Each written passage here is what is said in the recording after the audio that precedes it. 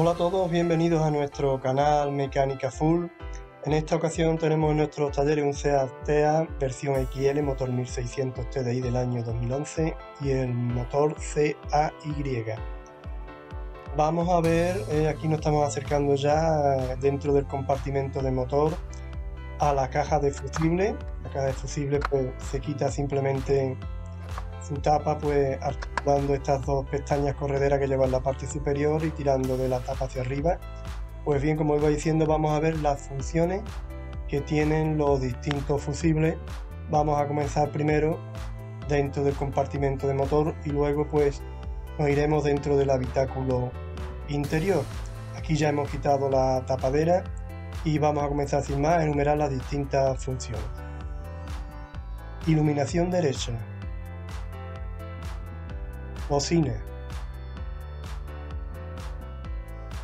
Gestión del motor. Elevadunas eléctricos. Llave de contacto.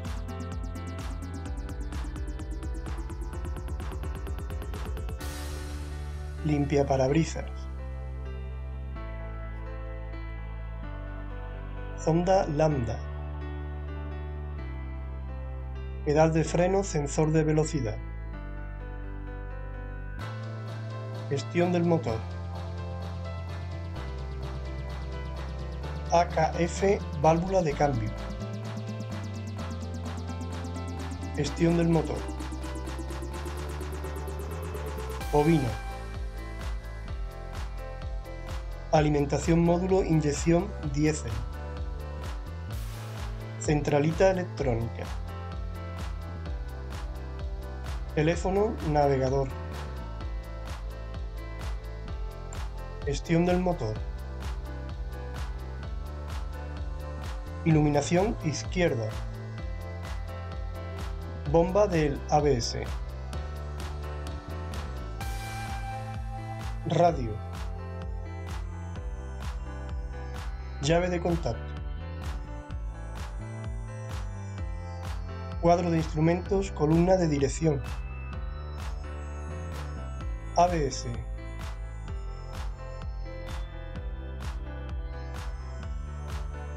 Centralita de cableado. Y por último este fusible de 30 amperios del limpiaparabrisas.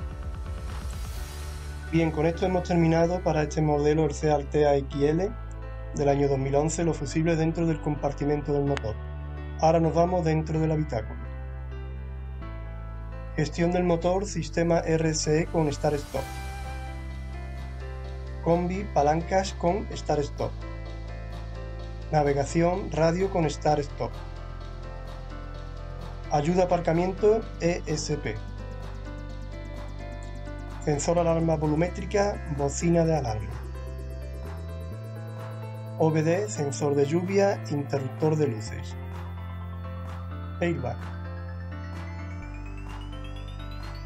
Alimentación RSE, pantalla TESO.